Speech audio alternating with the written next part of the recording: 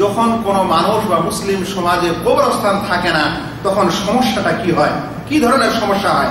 মানুষ বাড়িতে কেউ দফন করে, কেউ দেখা গেল পুকুর পাড়ে করে, কেউ দেখা গেল নিজের জমির এক কোনায় গিয়ে করে, আর কেউ দেখা গেল যে আর অন্য জায়গায় করে।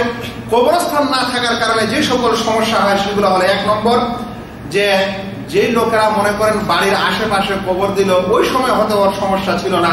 কিন্তু যখন তার অনেকগুলো সন্তান বেশি হবে তখন তাদের বাড়ি ঘর প্রশস্ত করার দরকার হবে না হবে না? আর যখনই দরকার হবে, তখনই বলবে যে এই জায়গাটা তো কবর এখন কি করি? এর উপর বাড়ি বানা যাবে কি যাবে? এখন এটা কি করব? এরকম ফতোয়া আমাদের কাছে আসতেই থাকে। তাহলে ওই লোকের জন্য যারা জীবিত, তার সন্তান তারা কষ্ট পাচ্ছে। এটা এক নম্বর সমস্যা।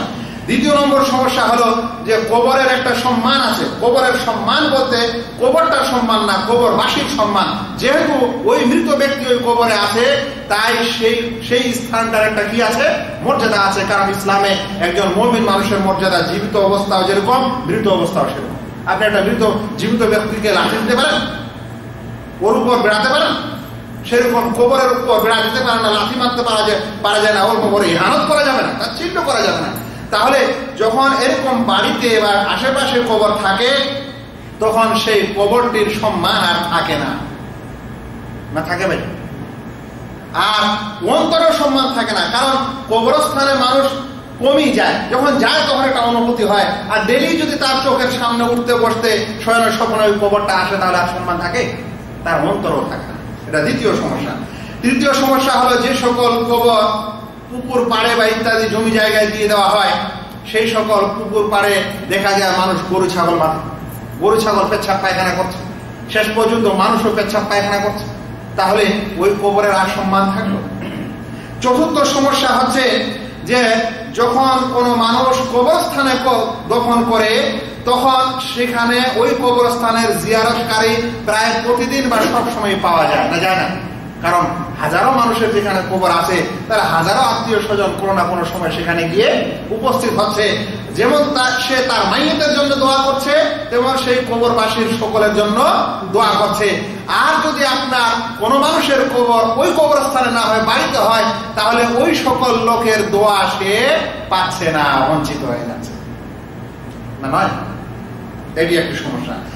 আর একটি আরও বড় সমস্যা হচ্ছে, যদি কবরস্থান না থাকে সম্মিলিত মানুষের, কোন মুসলিম সমাজের, তাহলে ওই ব্যক্তি যে ভূমিহীন, যার জমি জমা নেই, যে ফকির ও মিসকিন তার বাড়িতে যখন কেউ মারা যাচ্ছে, তখন সে কোথায় দফন করবে?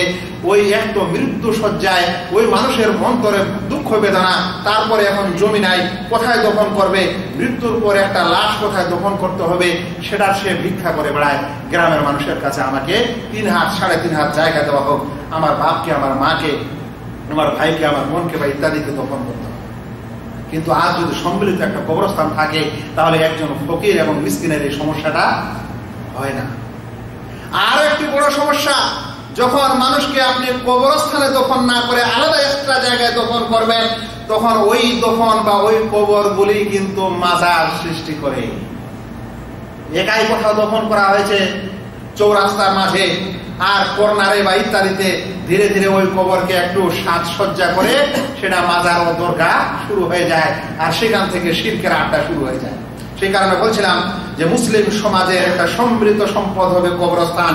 যদি কোনো সমাজে কবরস্থান না থাকে, তাহলে ধনী মানুষদেরকে এবং সমাজের মানুষকে চিন্তা করা দরকার, আর এই সমৃদ্ধ কবরস্থান করা দরকার। যেমন আপনারা সৌদি আরবে দেখছেন, সৌদি আরবে একটা জেলার একটা শহরে আপনারা দেখছেন যে একাধিক কোনোদিন কবরস্থান থাকে না।